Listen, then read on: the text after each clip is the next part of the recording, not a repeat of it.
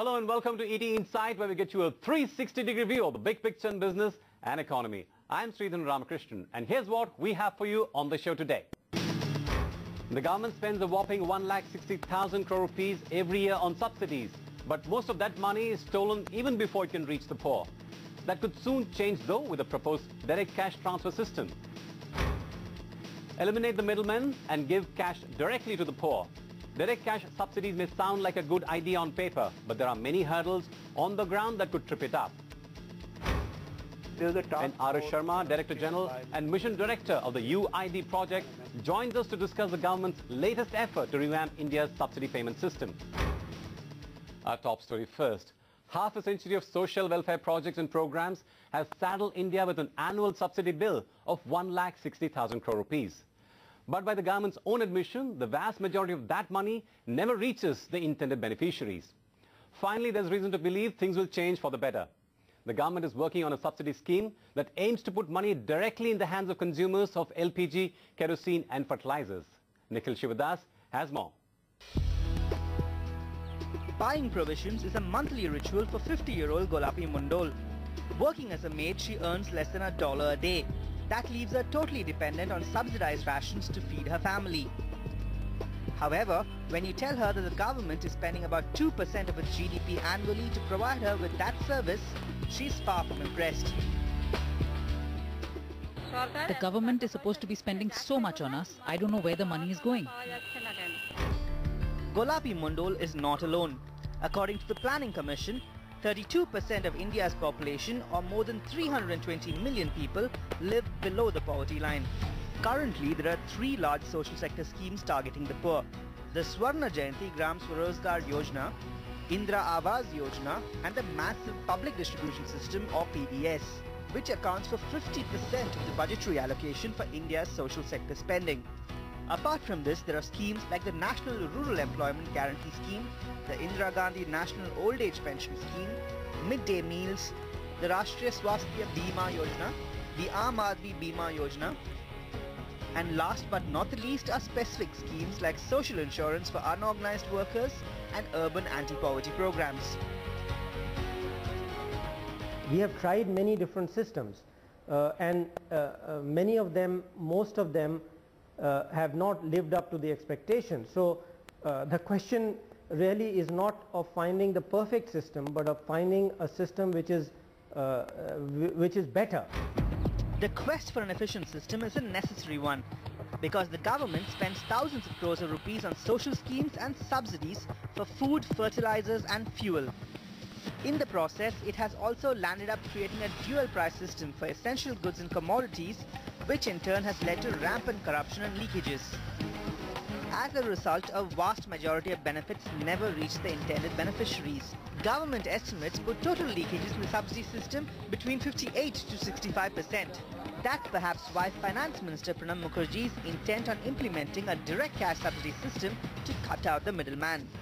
To reach the target, targeted beneficiary, so that they can get advantage of it, in three areas I am going to introduce the direct transfer. That's something UIDAI Chairman Nandan Nilekani has been tasked to do.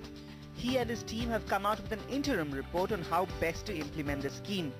At the heart of the proposed reforms is the Core Subsidy Management System or CSMS. It will maintain information on entitlements and subsidies for all beneficiaries. Once the system is set up, the beneficiaries will be identified and their names entered into the system through their UID numbers. Finally, subsidies would be directly transferred to the customer's Aadhaar-linked bank accounts, allowing them to be accessed through various banking channels like bank branches, ATMs, as well as internet and mobile banking. Common subsidy management platforms which can be used for any kind of subsidies both for goods as well as for cash. Essentially using uh, very technology based solutions to reach millions of Indians so that they can get their subsidies on time. We should shift to using this platform. It will lead to a huge increase in convenience. It will empower the people who are getting the subsidy. It will be more efficient. It will reduce leakage. To begin with, the plan is to introduce direct cash subsidies for LPG, kerosene and fertilizers. According to the Petroleum Ministry, oil marketing companies are currently losing 6 rupees per litre of diesel, nearly 24 rupees on a litre of subsidized kerosene and 247 rupees per cylinder of domestic LPG. At these rates, OMCs are losing 246 crore rupees a day. According to government estimates, if the average price of the Indian basket of crude oil remains at around $110 per barrel during 2011 and 12, the total under-recoveries of OMCs are expected to cross over 121,000 crore rupees.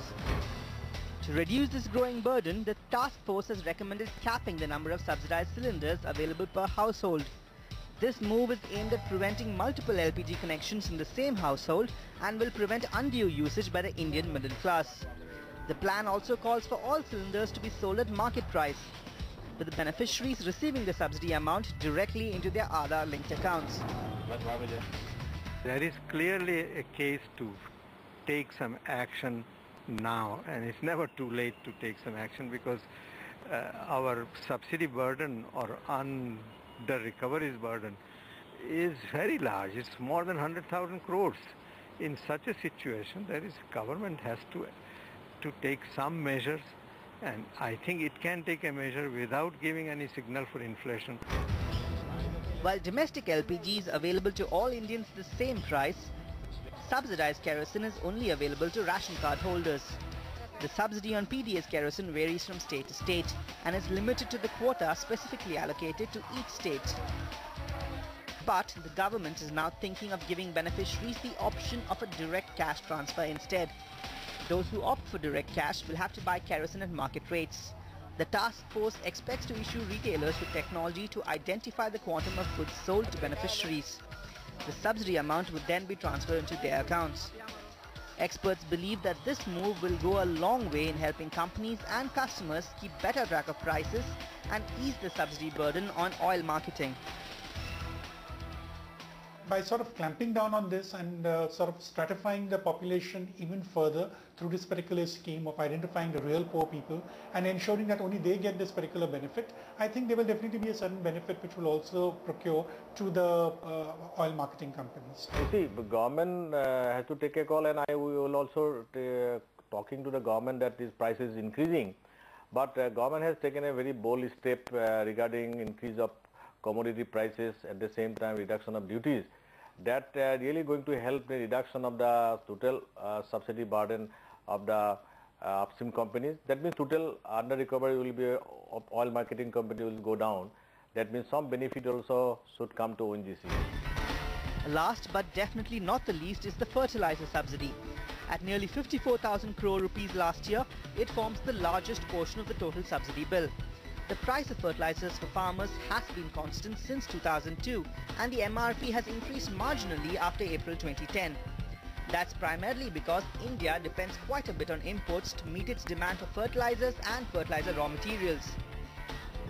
For instance, India imports 90% of raw materials for phosphatic fertilizers and 100% for potassic fertilizers. There are 22 grades of phosphatic and potassic fertilizers and 15 grades of NPK complex fertilizers that are provided to farmers at 25 to 40% of production costs. Who then pays for the difference between the manufacturer's cost price and the sale price? You guessed it, the government. But it's a complicated and inefficient supply chain involving the importer, manufacturer, wholesaler, distributor and finally the farmer. The task force plans on straightening things out. The task force recommends having fertilizer retailers register themselves with core banking agency networks and then have the subsidy amount credited directly into their account. In theory, the retailers would then pass on the benefits to the farmers. Since the fertilizer is being purchased at market prices from the manufacturer until the retailer, there will be greater clarity and transparency in procurement. But the move is not without its problems. This method is dependent on linking all 2.3 lakh fertilizer retailers to a core banking network. And the technology to identify the quantum and volume of produce sold by retailers is not yet in place. The report talks about a separate CSMS system for fertilizers, but that is still only in the planning stages. Besides, fertilizer companies don't want a subsidy system that doesn't start at their doorstep. I think, you know, initially it will impact companies' bottom line and uh, certainly there will be resistance. Uh, the consumption will come down, which we also want the chemical fertilizer consumption should come down.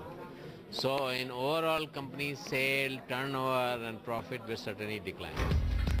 Much of the success of the direct cash transfer program depends on infrastructure and technology, both of which need to be built. Of the 320 million people estimated to be below the poverty line, more than 40% do not have access to either ration cards or bank accounts. So the government's ambitions of having the cash transfer system in place by March 2012 seems unrealistic. Indeed, but what are the challenges that the government is likely to face in rolling out this program? That's coming up after the short break. Stay tuned.